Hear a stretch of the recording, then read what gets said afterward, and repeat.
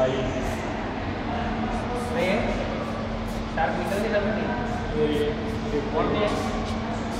ये भी निकल